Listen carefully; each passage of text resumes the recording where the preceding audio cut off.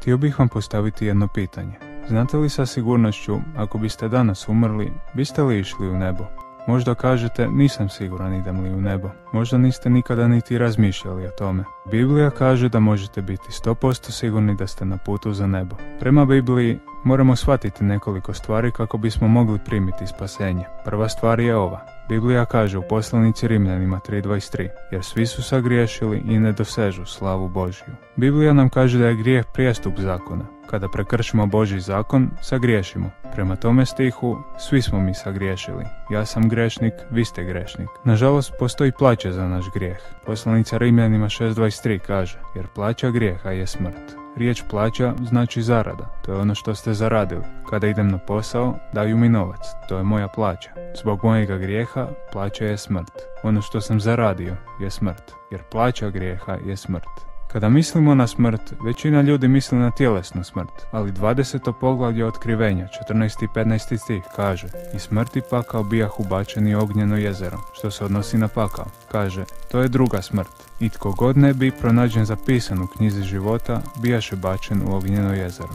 Otkrivenje 21.8. Na kraju toga popisa Biblija kaže ovo. I svi lažljivci imat će svoj udio u jezeru koje gori ognjem i sumporom, koji je druga smrt. Razlog zašto je dodao taj grijeh laži na kraju toga popisa pokušava ukazati na nešto, a to je ovo. Svi smo mi grešnici, svaki čovjek je lagao. Pokušava reći da nema niti jednog pravednog. Svi smo mi sagriješili, svi mi zaslužujemo ići u pakao. I to je loša vijest. Ja sam grešnik, vi ste grešnik. Svi smo mi u početku osuđeni na pakao. Evanđelje je dobra novost ili dobra vijest. Poslanica Rimljanima 6.23 kaže, jer plaća grijeha je smrt. Sada razumijemo što to znači. Drugi dio toga stiha kaže, ali dar Boži je beskonačni život, kroz Isusa Krista, gospoda našega. Biblija kaže da Bog ima dar kojega vam želi dati, a taj dar je beskonačni život. U poslanici Efežanima 2.8 i 9 Biblija kaže, jer milošću ste spašeni kroz vjeru. Riječ milost znači dobiti nešto što ne zaslužujete. Niste to zaradili, niste to platili. Ste spašeni se odnosi na spasenje od pakla, jer ja ne želim ići tamo. Siguran sam da ni vi ne želite ići tamo. Kroz vjeru, riječ vjera znači vjerovati. Kaže, jer milošću ste spašeni kroz vjeru, a ne od vas. To nema nikakve veze s vama.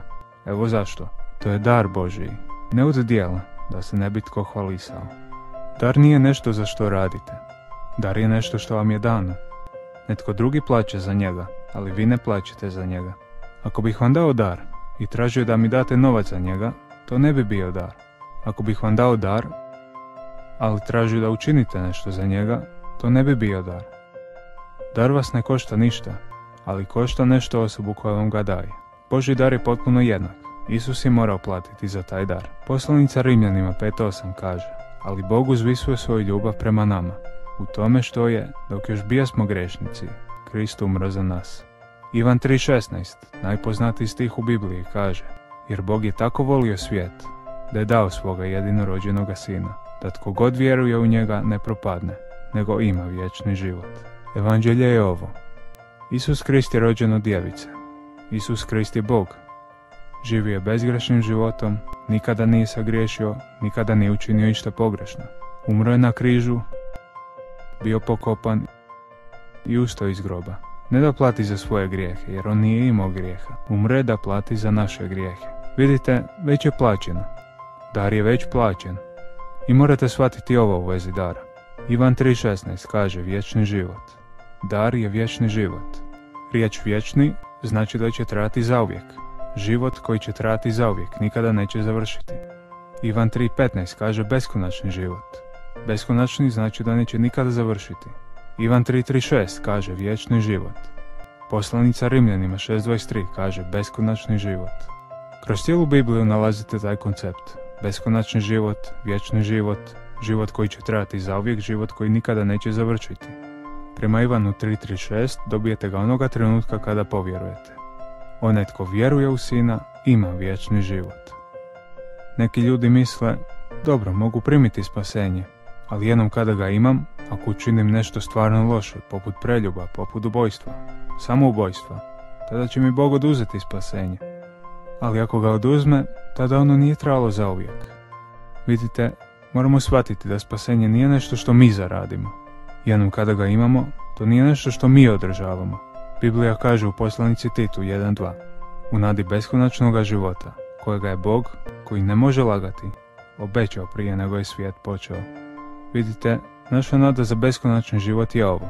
Bog ne može lagati. Ako mi je Bog obećao beskonačni život, pogodite što? To je beskonačni život. Obećao je vječni život. Tada će trajati zauvijek. Kažete, ali što ako učinim nešto stvarno loše? To nije od nas. To nema nikakve veze sa mnom. To je dar koji će trajati zauvijek. Postoji samo jedna stvar koju vi morate učiniti. Kao i sa svakim drugim darom imate izbor. Hoćete li ga prihvatiti ili odbiti? Možda pitate, dobro, kako da prihvatim Božji dar?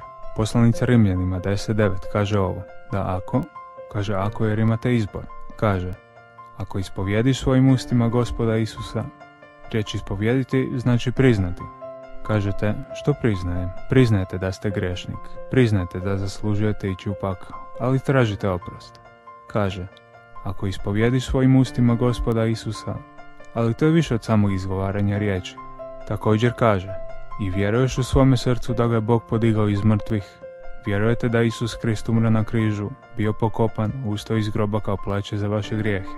Kaže, ako ispovjediš svojim ustima gospoda Isusa i vjeruješ u svome srcu da ga je Bog podigao iz mrtvih, Biblija kaže, bit će spašen.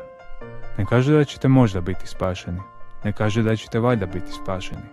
Bog kaže, spasit ću te ako ispovjediš svojim ustima i vjeruješ u svome srcu. Primijetite da ne morate ići u crku. Ne kaže da se morate krstiti. Ne kaže da se morate obratiti iz svojih grijeha. Ne kaže da morate išta napraviti. Jednostavno vjerujte i zatražite ga da vas spasi. Ako to vjerujete u svome srcu, ako vjerujete da Isus Krist umro na križu za vaše grijehe, bio pokopan, ustao iz groba, želi vam dati dar, taj beskonačni život. Zašto ne ispovjedite svojim ustima odmah sada?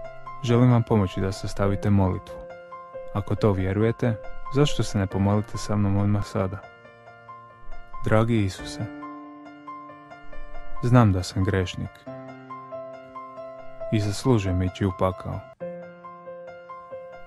Molim te, oprosti mi sve moje grijehe i daj mi beskonačni život. Ne uzdajem se u svoje dijela. Ne uzdajem se u svoju religiju. Uzdajem se jedino u tebe. Hvala ti što si me spasio. Amen. Ako ste pomolili ovu molitvu i povjerovali u svome srcu, prema Bibliji, sada ste spašeni. Imate beskonačan život. Čestitam.